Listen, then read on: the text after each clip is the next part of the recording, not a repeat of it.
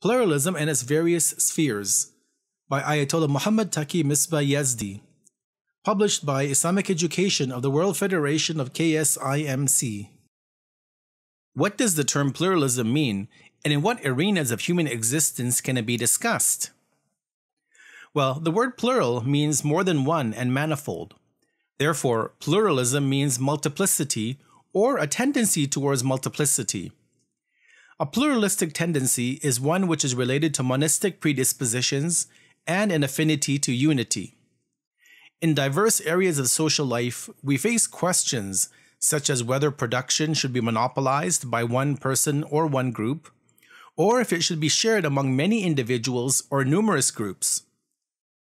If we accept that multiple individuals or groups should carry out a certain task, then this is called pluralism.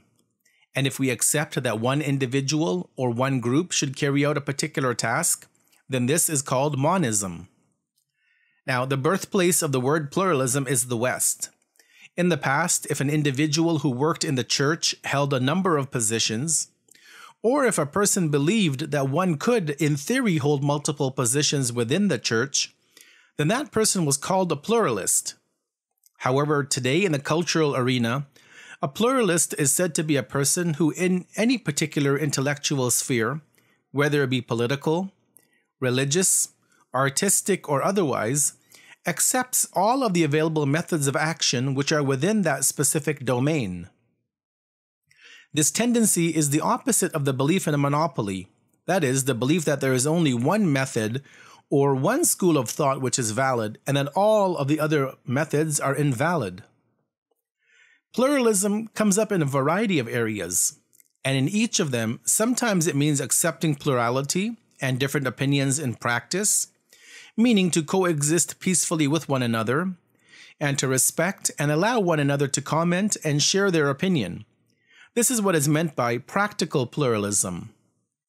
It is sometimes used in the sense of theoretical and scientific pluralism, meaning that we hold true all of the different views in politics, culture, economics, or religion, or that we hold that all of the opinions re- represent some part of the truth, the haqq, and that one path or thought pattern is not the exclusive pure truth, and all of the others are false or batil and erroneous.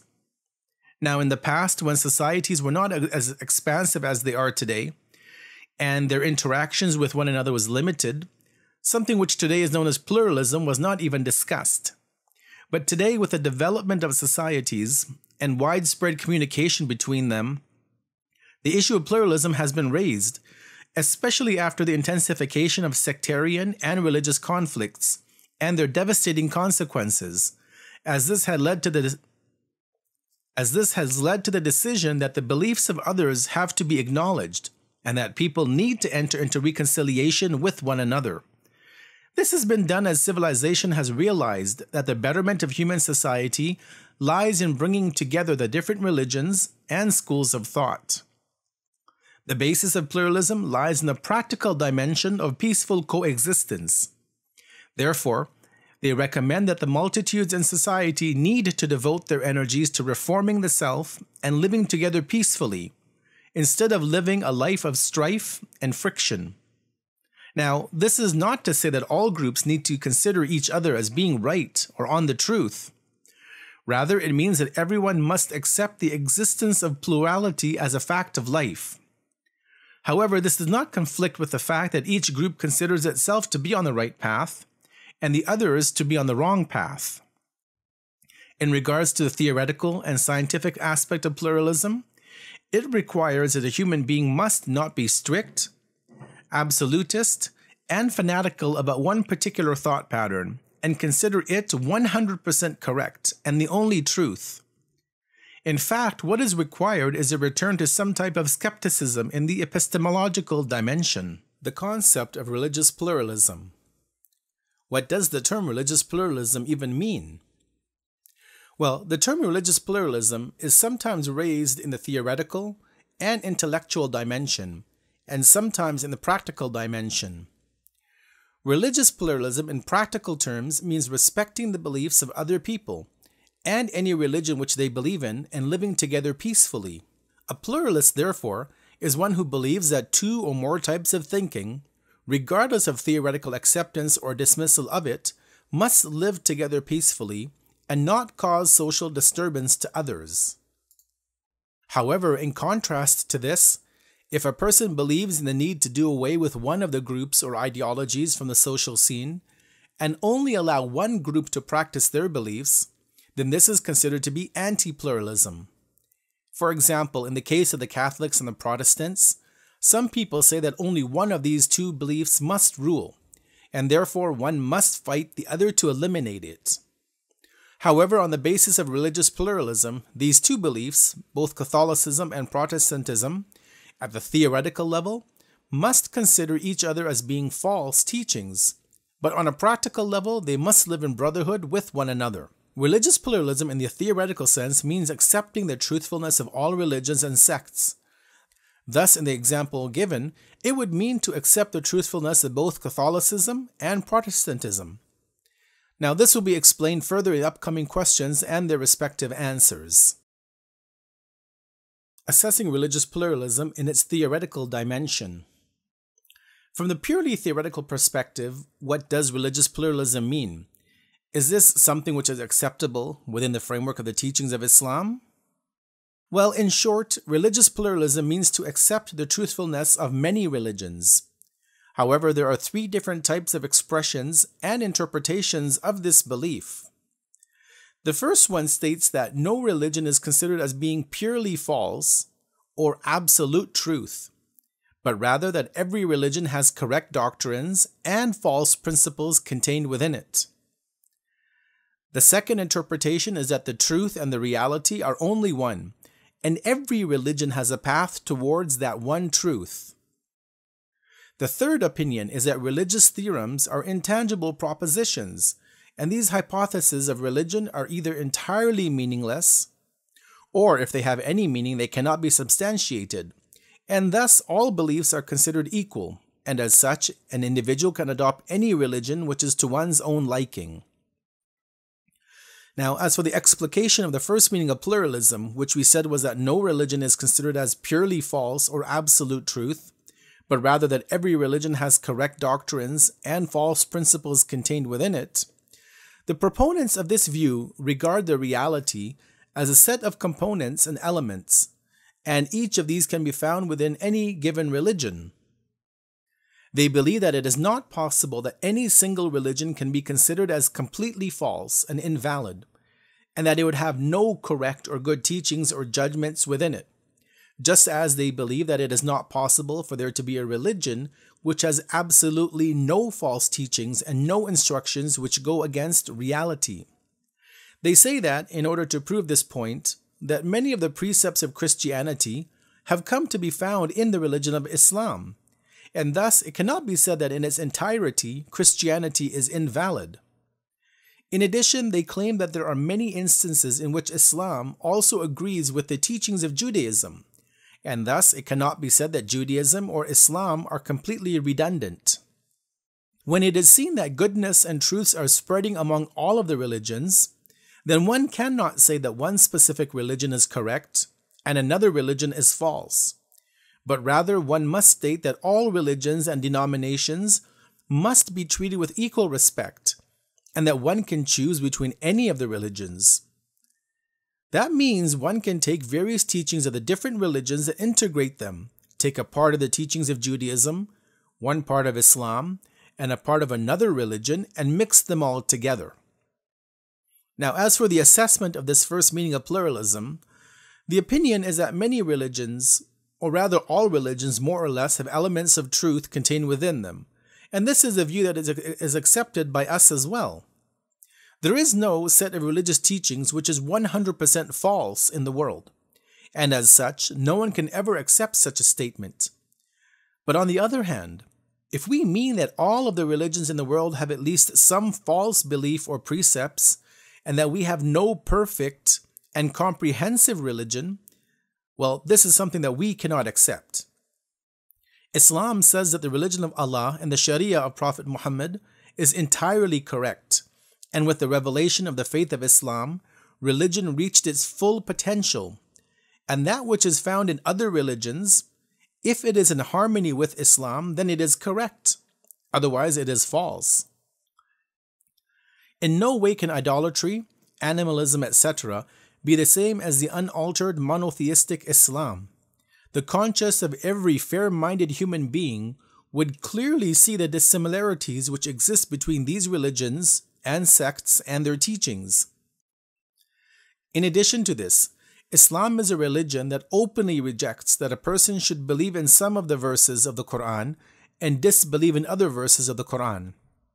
And it states that showing bias between the teachings of the religion is tantamount to the total rejection of the entire religion.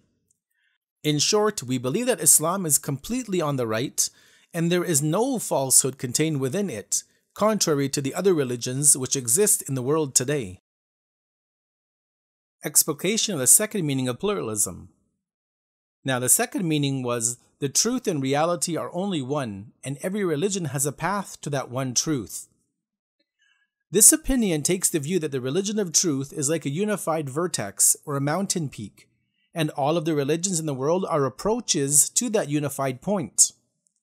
Every religion wants to guide us to that solitary truth and reach the destination, whether it takes a long path or a short traverse, or even if the paths are similar.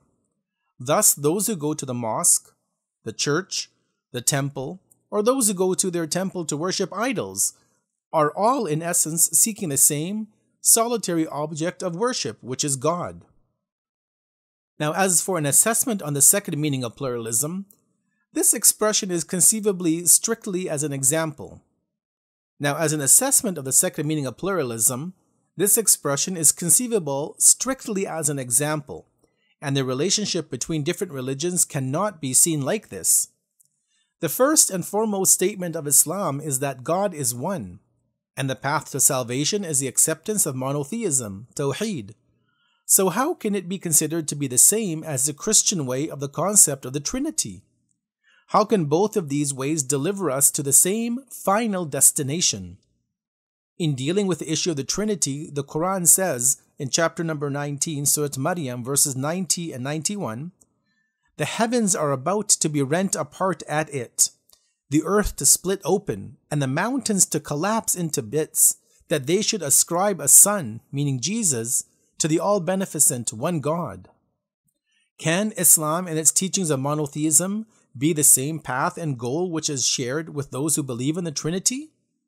Can a religion like Islam that strictly abstains from pork and liquor end up at the same point with God as a religion that permits these things? Explication of the third meaning of pluralism.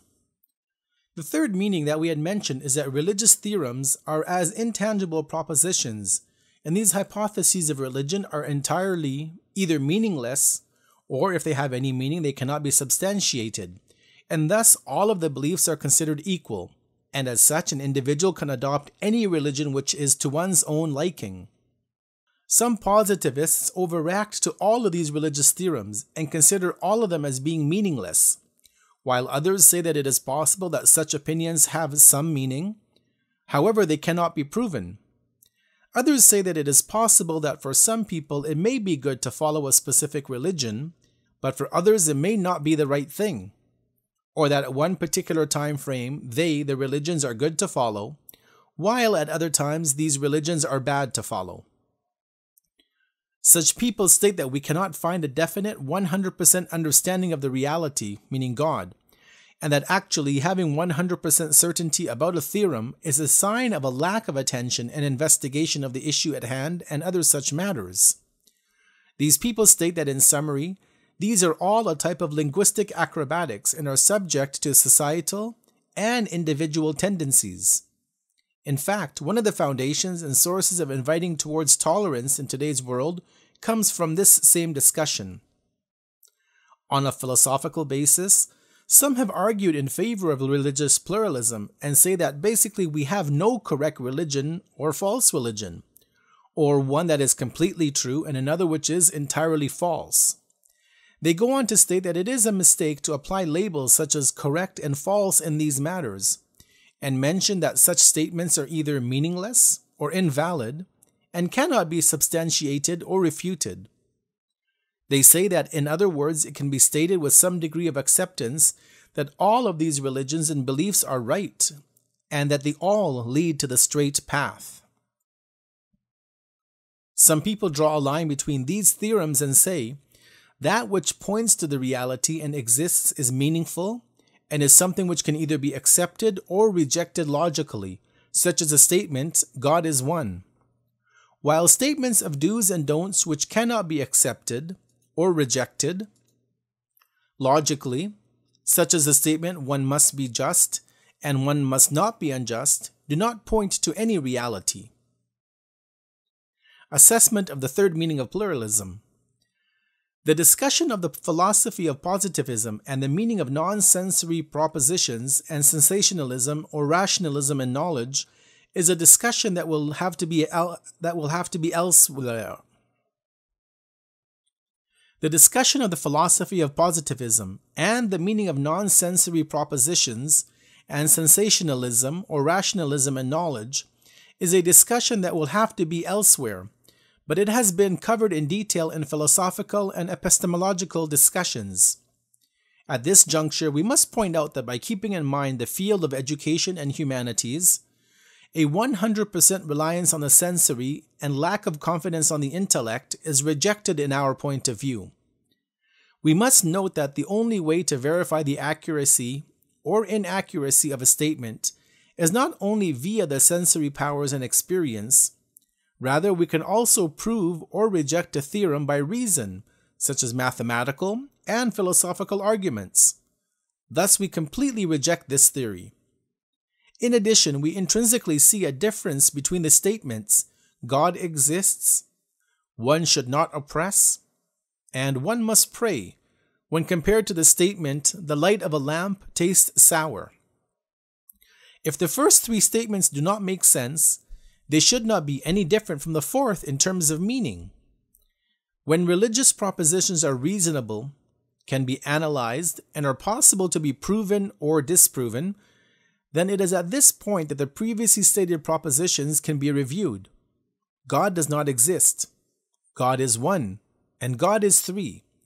How can these three views be combined or considered for them all to be accurate? Is it really possible to believe all three propositions to be true on the basis of pluralism? Or is it possible to accept that all three beliefs are equally valid and valuable? Religious pluralism in the practical dimension. Has religious pluralism existed in a practical dimension throughout the history of Islam? The discussion on religious pluralism can take place between two groups of the same sect, or between two or more sects of the same religion, or even between two or more religions. For example, religious pluralism can be discussed between Islam, Christianity, and Judaism living in close knit communities with one another, or in a single geographic area or in a city.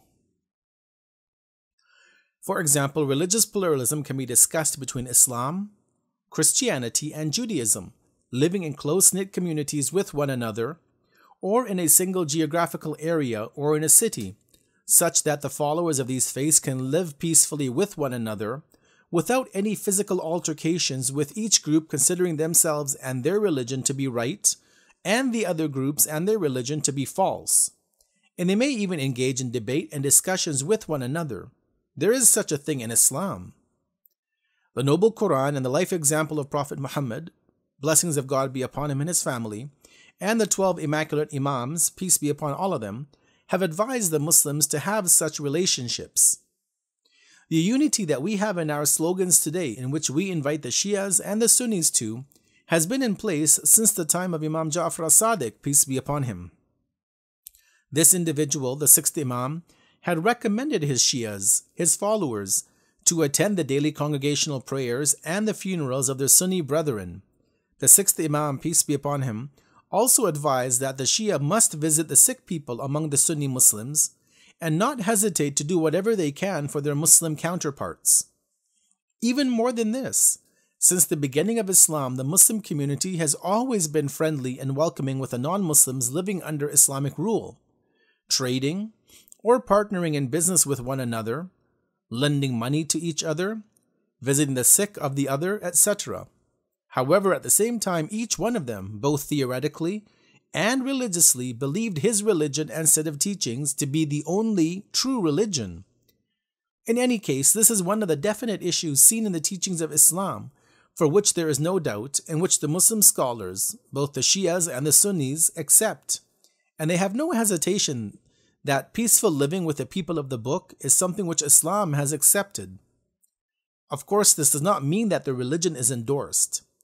It can even be said that Islam, in the event of signing a peace treaty with the polytheists, based on a secondary ruling in Islamic jurisprudence, coexisted peacefully with them. This was seen in the commencement period of Islam, in which a treaty between the Prophet, blessings of God be upon him and his family, and the polytheists was negotiated in an agreement of non encroachment on the life and wealth of both sides. The legitimacy of multiple religions and sects. Can we believe in the validity of multiple religions and sects in one time period? Well, as has been said, religious pluralism has a practical dimension, which is where Islam teaches its followers to be gentle, tolerant, and coexist peacefully with followers of different religions and even within the various sects of Islam. If we cannot say that Islam was a pioneer in this field, at least we can state that Islam is in favor of respecting the rights of various minorities, whether they be religious minorities other than Islam, or minorities of the various sects within Islam.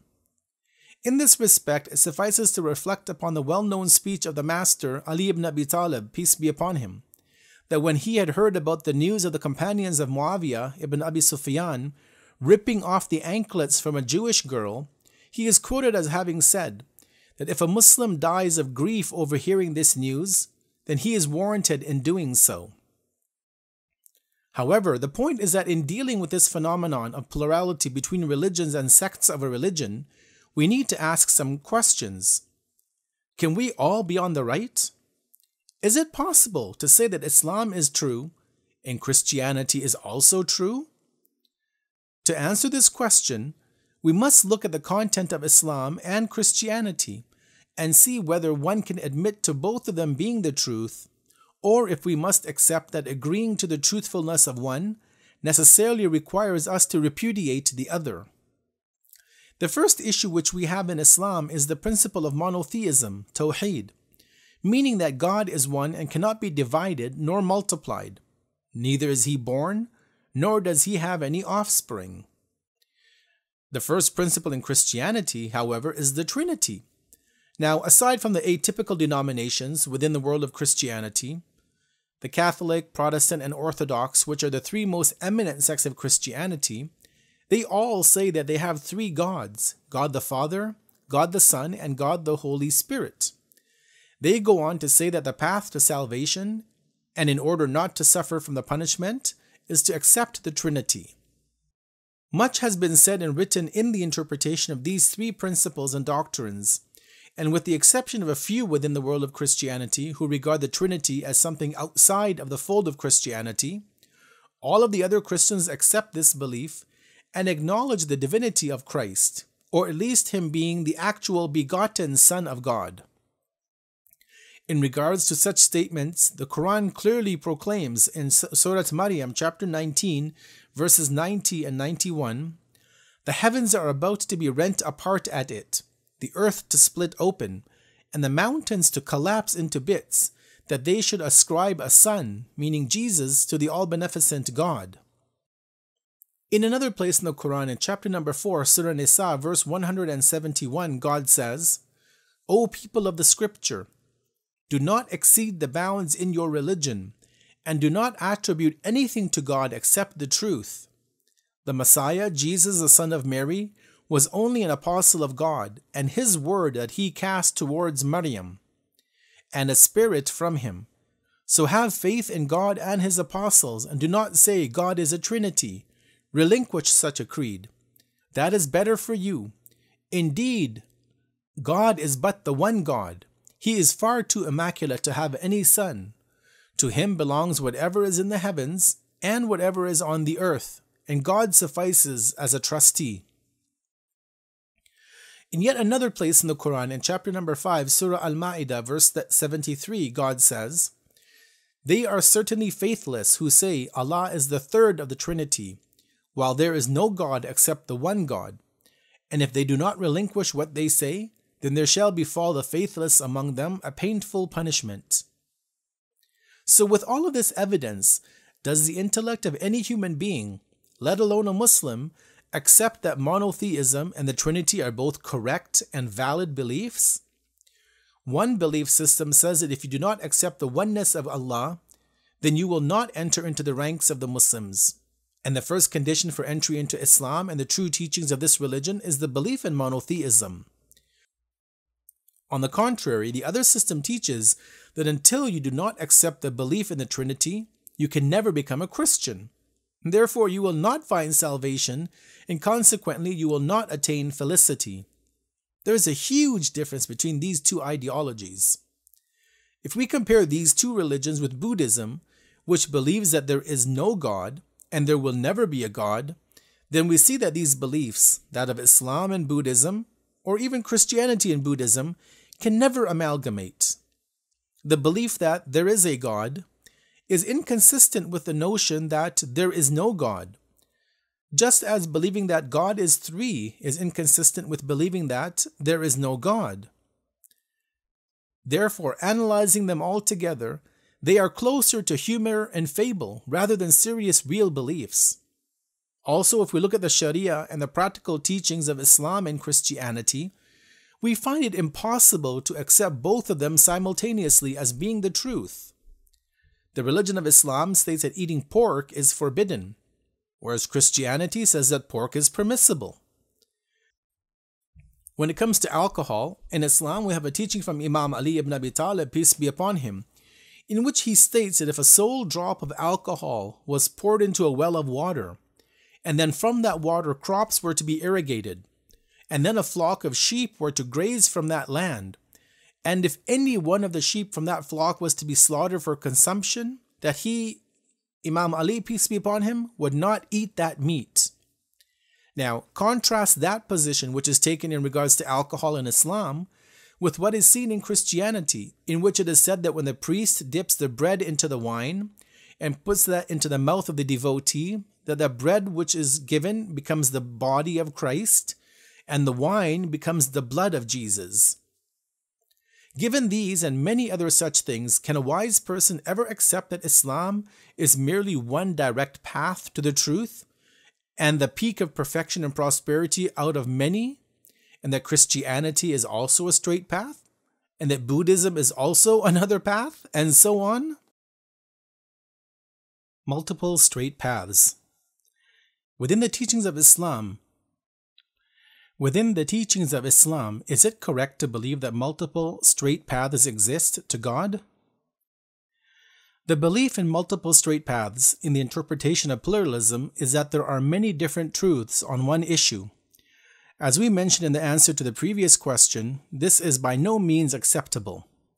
According to the interpretation of pluralism and the existence of a single truth and the inaccessibility of human beings to it, the assumption of multiple straight paths to God is also wholly false. However, it can be accepted only in very limited areas, as the Muslim commentators have referred to it in their books that this is in the meaning of more than one way, subul, and not path, sirat. The word path means the principal highway, and there is no more than one such path, and this is proven by certainty. It is possible that in certain areas there are subpaths in which there may be deviations which do not harm the actual principle of religion, but accepting these subpaths does not mean that there is more than one straight path. Therefore, in the Quran, God considers the path as being limited to only one. However, He does mention multiple ways. For example, in chapter number 6, Surah Al An'am, verse number 153, God says, this indeed is my straight path, so follow it, and do not follow other ways, for they will separate you from His way. This is what He, God, enjoins upon you, so that you may be conscious of God. Of course, in the context of the straight path, there are various ways, subul, which run alongside it, which is something that can be accepted, And we see this in the Quran, where Allah says in chapter 29, Surah Al Ankabut, verse 69 And as for those who strive in us, we shall surely guide them to our ways, and indeed Allah is with the virtuous. In this verse, the ways which are accepted are the ones which will make the path back to the main highway, which is considered as the only straight passageway to God. The, motiva- the motivation for religious pluralism in our Iranian society. What is the motivation behind the spread of the notion of religious pluralism in our Iranian society?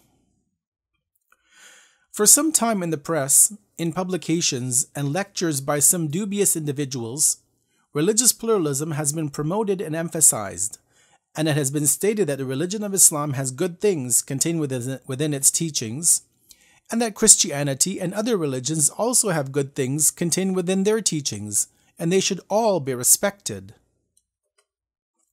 These dubious individuals go on to mention that we should look with tolerance towards the religious beliefs of others, just as we would like others to respect our religious beliefs. They further mention that similar to the fact that we like to invite others to our religion, we must also ensure that we give others the right to consider their own beliefs as being valid, and that they too are given the opportunity to invite others to their belief system, and their teachings should also be respected and made acceptable within the Iranian society. The motivation behind such discussions and thoughts in our society can be understood as follows. Number one, preventing the export of the Islamic culture and the culture of the revolution.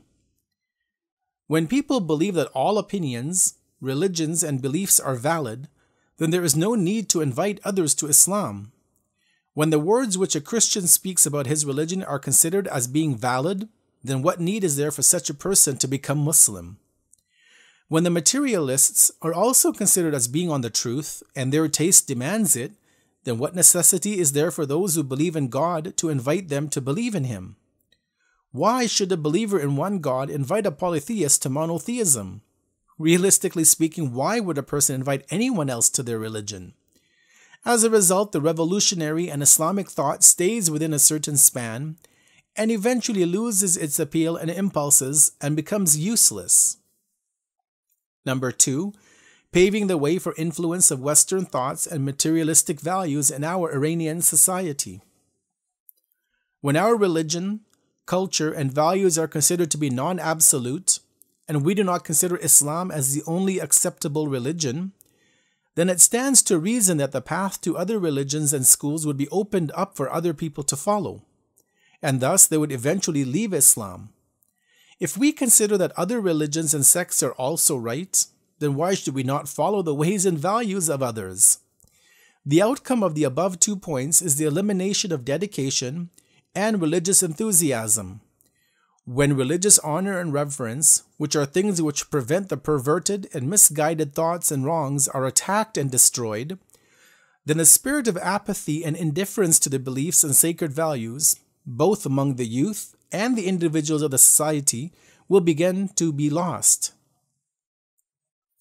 This is what the enemies of Islam and the enemies of the Islamic Revolution themselves are aiming for as their goal, and they are attempting to open the way for the infiltration and imposition of both the material and the Western values, and the ground for the reign of the world of disbelief and arrogance is trying to be laid through this path. The reasons for the notion of pluralism. What proofs do the proponents of pluralism provide to support their opinion? Well, at the outset, it should be known that the proponents of pluralism provide numerous evidences such as rational, historical, Quranic, literary, and others. Although it is not possible to address all of them here, we will respond to some of them. The proponents of pluralism point to three issues to support their views. One is pluralism in political, social, and economic matters. Two is the concept of relativity in values and three is the concept of relativity in knowledge. Now we will present a brief explanation of each of these instances. As for the first one, the socio-political pluralism. In the world today, the various countries have distinct types of governance, Some have monarchical, various are republics. Others are presidential, and there are yet other governments which are parliamentary. Each of them have a different way of governing their country. In the philosophy of politics, when asked which type of system of governance is better, they do not give a definitive answer and say that each one has its own advantages and disadvantages and its own benefits and shortcomings.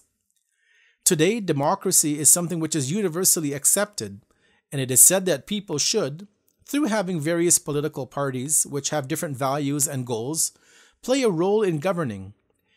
If one party always has a majority and constantly takes over the government through elections, with other parties never having a chance to govern, then this is something which is not desirable. Rather, there must always be differences of opinion, and each party needs to take the reins of the government for a period of time. In this way, party pluralism in politics is accepted today. Now, when it comes to economic pluralism, in the economic dimension, the existence of different economic poles causes the elimination of domination and subjugation by particular individuals, as economic growth and development depend on the existence of different economic powers in society. By mentioning these types of arenas, the proponents of pluralism likewise draw an analogy on the issue of religion to politics, economics, and political parties, and they come to the conclusion that pluralism is desirable in various social arenas and should be pursued and developed. Of course, the explanation that has been given in response to the previous questions about religious pluralism makes it clear that drawing such analogy, as these individuals do, is a mistake. Point number two about the relativity in values. We know that there are many matters and fields of study that cannot accept multiple views. That is to say, two or more theories cannot be rightly trusted. Matters within physics, chemistry, mathematics, and geometry fall into such a category. With this in mind, the religious pluralist should be asked why do you liken religion to economics and politics? Why are religion and religious propositions not looked at in the same way that physics and mathematics are reviewed and studied, in which there is no more than one answer to any one particular question? Just as the analysis of the angles of reflection and refraction is one, in which the response is either that they are equal or not equal, or when it comes to the mathematical equation of whether 2 times 2 is equal to 4 or not equal to 4, when faced with religious questions such as Does God exist or does he not exist? Why do we not employ the mathematical analysis of having only one right answer in this case? For such a religious question, there's only one correct answer, and an individual cannot say that there are multiple correct answers to such a religious query. This simply cannot be accepted. The pluralists attempt to answer this by bringing up another point saying that issues of humanity, human values, and cultural issues, which also include religious ones, are intangible and have no external reality, and thus they are subject to human sensitivity. Well, we quote some examples as follows on this point. Among the different colors, which color is better, green or yellow? Is the aroma of such and such a thing better than something else? Is a specific type of food better than other types of food? Is a certain person more beautiful than someone else? Or is a certain water or climate better than the rest? Or are the customs of the peoples of China and Japan better than the habits of the people of the African countries, etc.? Individuals who subscribe to the theory of religious pluralism state that religious affairs are the same, and one cannot say for sure whether prayers facing Mecca are better or praying facing Jerusalem? Is Islam better or is Christianity? Is monotheism and the divine teachings better or is the concept of the Trinity? Or is materialism the better path to choose? These and thousands of other such things depend on the habits and tastes of the people and have no reality other than their acceptability in the eyes of the populace and what is pleasing to humanity. These things can even change over time, and a person can say that for a period of time they liked the color green, but then later on they liked yellow for a while. And later on, the color red was their favorite for a certain duration of time. In one society, sitting is a sign of respect, whereas in another society, standing is a sign of respect, while in a third country, bending down and then straightening up is a show of reverence. Therefore, differences and variations are prevalent in all societies and aspects of life. Point number three is a relativity in knowledge. The third pillar and another principle that is used to reinforce religious pluralism is a relativity in knowledge, which in fact is also the root of two of the most important principles of this issue. It should be noted that not only is knowledge relative with respect to the discussion of values, but principally knowledge in all fields is also relative in a way. To put it more clearly, knowledge cannot be unqualified, albeit in some matters it is clear, while in others it is hidden and obscured. Relativity exists in the real sciences and the entirety of human knowledge. All of our sciences are related to and affect one another with the geometry of human knowledge. Due to continuous change in the different roots of sciences being in a constant state of change. Finally, we would like to add that in our society, along with the above mentioned matters, there are some people who have taken up Islamic and religious appearances who have also tried to provide evidence and examples for this belief of pluralism as being ingrained in the religious concepts and sacred texts. Furthermore, in some cases, they even cling onto the literary texts and poems, the like of Mawlavi and Attar, which have been mentioned in each and every single proof and evidence. However, various points have been mentioned in response to the inattentiveness or deliberate negligence in this regards, which in their own respect have been criticized and evaluated in their suitable place. In this book, too, we have mentioned some of them. Motivations for the emergence of pluralism. In general, what motivational factor or factors are involved in the emergence of pluralism? Well, there are two rational motives for pluralism. One is the emotional and psychological motivation, and two is the social motivation. There are some who say that it is impossible to limit the true religion or sect to strictly one which will be granted salvation, because everyone who is born in a particular country and has grown up in that system will automatically consider one's own belief system and the religion which they were born into and that path as being correct, and they will believe that all other paths are misleading and invalid. This opinion is not limited to Muslims alone, or Shias, or the Imami Shias, that they consider all others as being on the wrong path.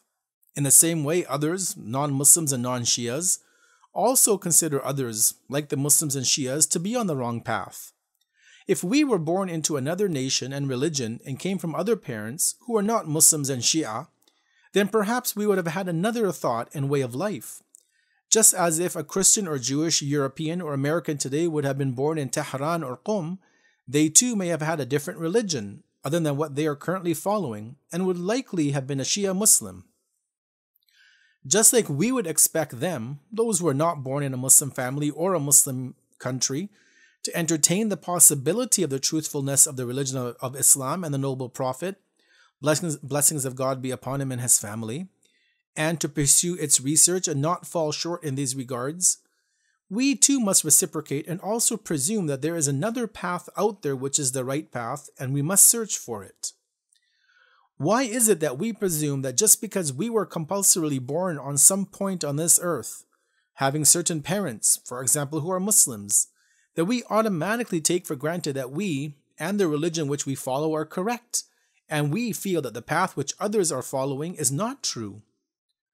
From another angle, can it be accepted that out of the 6 billion people who live on the earth today, only about 100 to 200 million people, and that too if they observe the obligations and refrain from the prohibitions of the Sharia, and have not shut the door of salvation and paradise for themselves, that they are the only ones who are on the truth and destined for paradise? And that anyone else who is a non Muslim, meaning the Jews, Christians, Zoroastrians, Buddhists, Hindus, etc., and all of the non Shia, such as the various denominations within the Sunni community, and even those who are Shia but do not believe in the 12 Imams, peace be upon all of them, such as the other groups within the realm of the Shia, that all of these are misguided, deviants, and prone for punishment and hell? This analysis provides a psychological impetus for some people to believe that other religions and sects can also be the truth. And therefore, such people say that we are on the right, but those other people are also saved and destined for paradise. They too, in their own opinion, are on the right, and it is possible that they may actually be more honorable and purer than us, and they may actually be practicing their religion much better than we follow ours. Now, from another point that has prompted this theory is the confrontation with the struggles, turbulences, and domestic wars that have always existed throughout human history until today. What a great deal of devastation, destruction, and bloodshed has occurred over the claims of legitimacy about this or that religion, and the intolerance and persistence of people over their particular beliefs which has gone on for so long. The War of the Crusades between the Muslims and Christians, and the sectarian wars between the Shias and the Sunnis, or the wars which have gone on between the Catholics and Protestants, are all examples of this. The root of all of these conflicts and tensions is intolerance and the insistence of people's own view over that of others. To put an end to these conflicts, we need to be a little tolerant and easy. If we all come together and say, we, meaning our religion, is the right, and you and your religion are also right, Islam is right, and so is Christianity, the Shia way is right, and so is the Sunni, the Catholics, the Orthodox, the Protestants, they are all right, as they are all rooted in humanity, if we believe this and subscribe to this, then all of humankind will be at peace and harmony and will all reach to a level of affability. So far, the discussion has been about these two motivating factors. Should these two motivations now be endorsed? And if so, is there a solution other than pluralism? Is there another way? If there is another way, then what is the logical and correct way to proceed? Now, to answer this question, which has been proposed by the intellectual motivational factor, the following two points must first be made. Point number one is that the term disadvantaged, mustad'af, which we'll use in our discourse, has at least two meanings. The first meaning are the socially and economically disadvantaged, the mustad'af, those who are the underprivileged in society. And the second meaning is the intellectually disadvantaged, the intellectually mustad'af, which in the science of theology, al ilm al kalam, is a reference to those who have failed to recognize the truth due to shortcomings and their own culpability in their power of contemplation. For example, they have not been able to understand the reason for the need of the existence of God or the veracity of Islam, or they have not come across these issues in their lives, and even if they had come across them and heard about God or Islam, they did not give any probability about the validity of them, and consequently, they did not pursue them any further.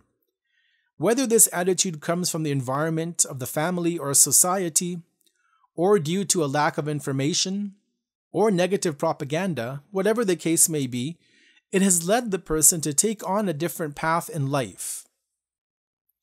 The second point to keep in mind is that in its technical meaning, one who is uninformed, jahil, is divided into two types. The first type are the culpable, al jahil al muqassir, and this refers to a person who has access to knowledge or considers that one's belief system may not be correct, however, falls short in following up and does not seek the right path and the truth in his lifetime. This group has been remonstrated in the society and within the religious teachings of Islam. The second type of uninformed or jahil is the in- inculpable, al jahil al qasir, and this refers to a person who is either unknowingly in a state of ghafla and does not think that what one is doing or saying is incorrect in terms of religious be- beliefs and ideologies. And if there is a possibility that one knows that what they are doing or saying in terms of the religious outlook is not permissible. But if that person was to see or hear things guiding one to the truth, then they still have no means to reach to that truth. This group, the second one, the inculpable, is not from the rational or the religious point of view rebuked. Now, by keeping in mind these two points, we say the following. The intellectually weak and ignorant, al jahil al qasir, that is a person who really has not been able to come to terms with the truthfulness of Islam and Shiaism is excused and discharged of this responsibility. Although one is mistaken and the belief system is not correct, because the truth cannot be two, so either God exists or he does not exist, either Prophet Muhammad, may God's peace and blessings be upon him and his family, is the seal of the prophets or he is not, and a combination of these is the amalgamation of two contradictions, which is impossible. However, we would not consider such individuals to be worthy of the punishment and hell. And indeed, a majority of the people of the world fall into this category. If one fails to recognize the truth due to one's own laxity, or one recognizes the truth and still decides to go against it, then both the intellect and the law of Islam would consider such a person as deserving of punishment, and every person deserves to be punished as much as one is guilty. A clear evidence of this opinion is contained in a portion of the supplication of Kumail, in which Imam Ali, peace be upon him, has been quoted as saying to Kumail, But you, O Allah, holy are your names. You have taken an oath that you will fill hell with the unbelievers, both with the jinn and humanity together, and that you will place those who stubbornly resist therein forever. Therefore, a person who rejects faith and is a disbeliever and is not traversing the path of truth is considered as one who was culpable in his actions and will enter into hell. However, as for those who will reside in the punishment for perpetuity, it is those individuals who are the people of obstinacy and stubbornness in regards to the truth. Another point to keep in mind is that within the discussion on religious pluralism, it is not about what city and country you and I were born into or which parents we were given to, or where we grew up.